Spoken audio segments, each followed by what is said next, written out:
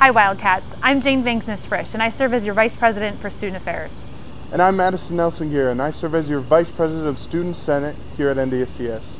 I also serve on the Alcohol, Tobacco, and Other Drug Prevention team. Did you know that we have a tobacco policy here at NDSCS? There's a lot of important things in that tobacco policy. There's some things that we want to share with you today. Did you know that when you vape or choose to use other tobacco products within our residence halls, you're impacting our entire college community? And you may be impacting your relationship with the institution. Did you know that you're also affecting your local communities when you choose to vape in the residence halls? Students, Maddie is right. When you choose to use tobacco products or vape within our residence halls, you're impacting our local community. The Wahpeton Volunteer Fire Department protects our community against fire.